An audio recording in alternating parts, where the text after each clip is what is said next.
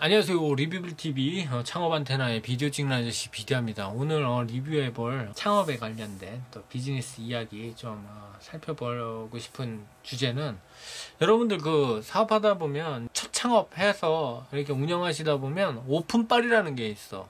여러분들 오픈빨을 조심하라. 오늘 해주고 싶은 얘기야, 여러분들.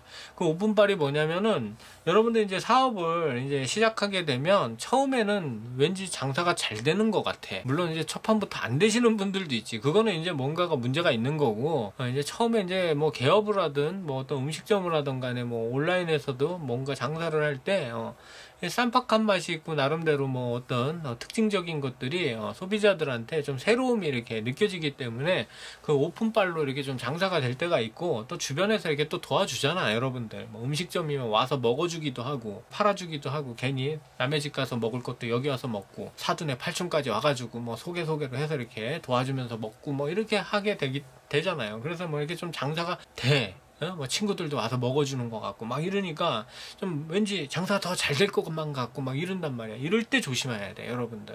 한순간에 가는 거지, 여러분들. 왜냐? 어? 사람들이 이럴 때 이제 오만에 들어가게 되거든요, 여러분. 어, 왠지 사업을 확장해도 될 것 같다. 그런 생각. 어, 직원을 한 명 더 넣어도 된다. 이런 생각. 아, 좀 사무실 좀 더 넓혀봐.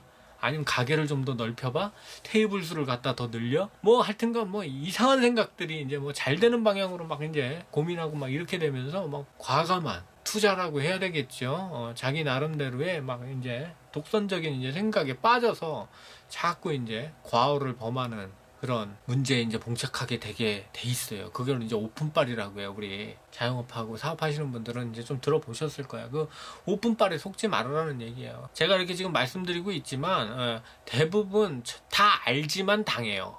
자기 스스로가 그게. 예, 네, 어쩔 수 없어. 이제 뭐 돈 벌 때쯤 되지 않았을까? 뭐 이런 생각으로 한다고. 저도 뭐 마찬가지였습니다, 여러분들. 이제 돈 좀 벌 때 됐잖아. 뭐 이런 생각으로. 어. 그래서 지금 마치 돈이 잘 벌리는 것처럼 이렇게 느껴질 때가 있단 말이죠. 그러니까 요때 조심해야 된다는 거예요, 여러분들. 그때 돈들을 잘 모아서 뭐 어떤 큰 기업들처럼 뭐 R&D에 투자를 하라는 그런 얘기가 아니라 다음에 자기가 사업을 할 수 있는 환경을 좀 더 개인적으로는 자기 개발을 더 한 단계 높일 수 있는 방법이나 아니면 회사 차원에서 아니면 소비자한테 뭔가를 돌려줄 수 있는 방법으로 그 오픈빨에서 벌어들인 수익을 가지고 활용을 잘 하셔야 된다는 거지. 그거를 그냥 어 아무 생각 없이 그냥 막 흥청망청 어, 써대고 막 계획 없이 막 이렇게 하다 보면 결국에는 구렁텅이에 빠지게 되, 더라고요 그러니까 여러분들도 그런 부분들을 좀 인지하고 계시다가 어, 혹시라도 어, 이게 오픈빨이다라고 느꼈을 때 좀 더 다음을 위한 어, 미래에 투자할 수 있는 방향으로 어, 한 단계 발전할 수 있는 방향 그쪽으로 이렇게 잘 활용할 수 있길 바라는 마음으로 말씀을 드리는 거예요, 여러분들. 예, 그러니까 오픈빨에 속지 말아라 절대.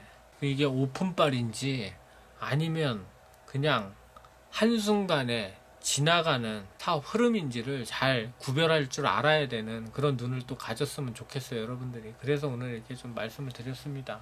그러니까 뭐 도움 되시는 분들은 한번 참고해 보시고 어, 또 한번 느껴보셨으면 좋겠다 어, 생각해 보시면 계기가 됐으면 좋겠다 해서 오늘 이렇게 또 남겨봤습니다. 여기까지 지금까지 리뷰TV 창업 안테나의 비디오 찍는 아저씨 비디오였습니다. 감사합니다.